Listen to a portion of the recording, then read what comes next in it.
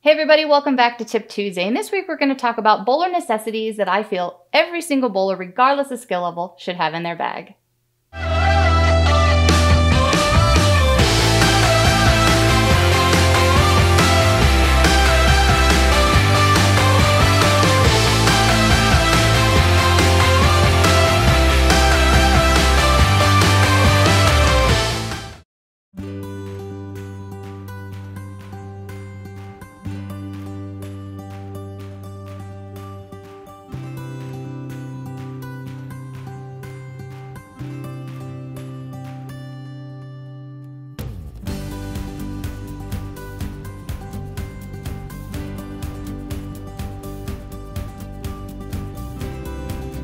There's two items that I believe every single bowler, regardless of skill level or competition level, should have in their bag.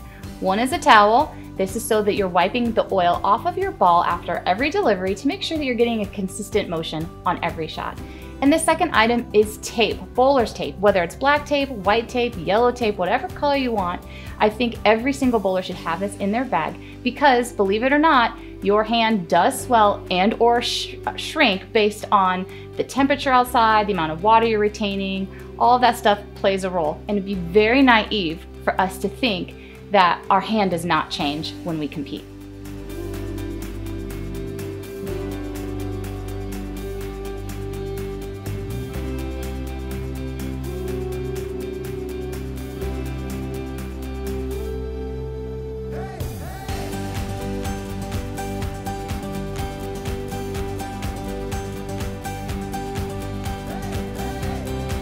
As you start moving up that level of competition and or skill, you may find that there's more necessities that you need.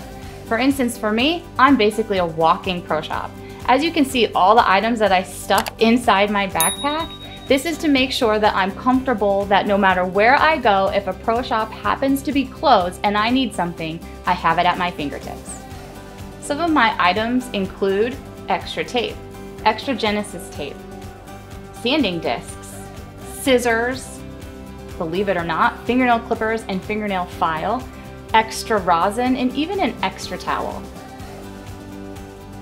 There are a few items that are not in this video that I carry with me all the time. It's a water bottle and a foam roller. Those are two things that I always have with me when I'm going to compete.